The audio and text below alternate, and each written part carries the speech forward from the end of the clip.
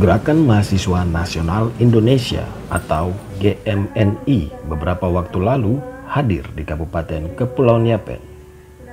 Kehadiran GMI ini sebagai bentuk melakukan progres organisasi yaitu turut serta ikut mengawal pembangunan yang ada di Kabupaten Kepulauan Yapen.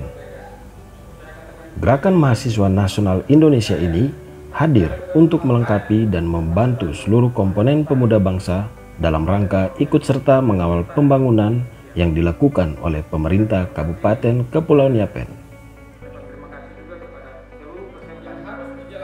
Selaku Ketua Karateker GMNI DPC Kepulauan Yapen, Salmon Robaha, ketika dikonfirmasi menjelaskan bahwa GMNI DPC Kepulauan Yapen akan ditetapkan pengurus Karateker yang nantinya akan dilantik pada bulan Agustus mendatang dan setelah itu, tugas definitif DPC GMNI Kepulauan Yapen adalah mengawal pemerintah daerah dalam rangka pembangunan di Kabupaten Kepulauan Yapen.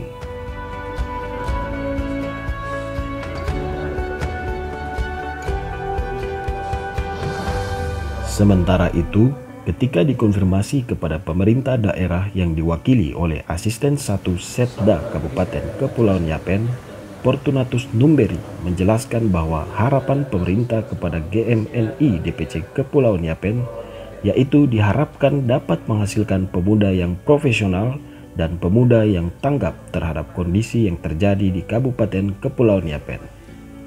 Dari sisi pemerintah kami harapkan bahwa pemuda ini ketika dibentuk maka dia akan menjadi pemuda uh, yang profesional, pemuda yang tanggap terhadap kondisi yang terjadi di Kabupaten Kepulauan Yapen.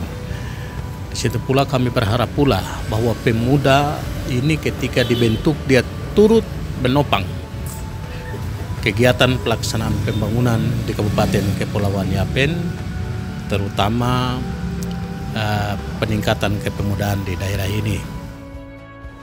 Tim Liputan Humas Setda Kabupaten Kepulauan Yapen melaporkan.